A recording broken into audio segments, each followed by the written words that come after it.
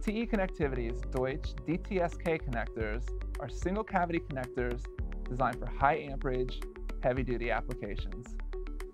They accept size 8mm contacts and feature a TPA secondary lock for easy assembly. They can be mounted or used in line.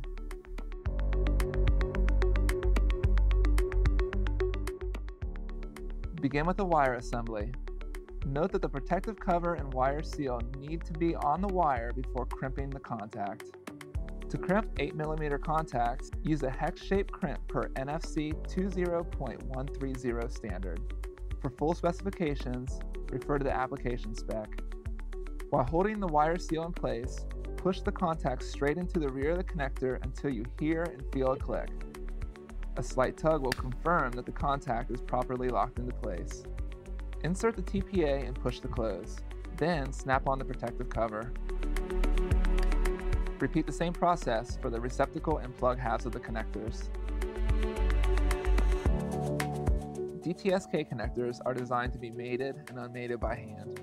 When mating DTSK connectors, grasp the connector by the body and align the keys on the plug and the receptacle. Push the plug and receptacle together until you hear a click and the exterior locking latches are seated in place. To unmate DTSK connectors, depress the locking latches on the outside of the plug while pulling the plug and receptacle apart.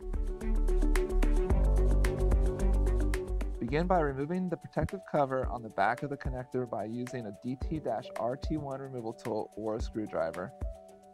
Use a tip to release the locking tabs of the protective cover and pull the cover away from the connector housing. Remove the integrated TPAs with a DT-RT1 removal tool or a similar style hook tool.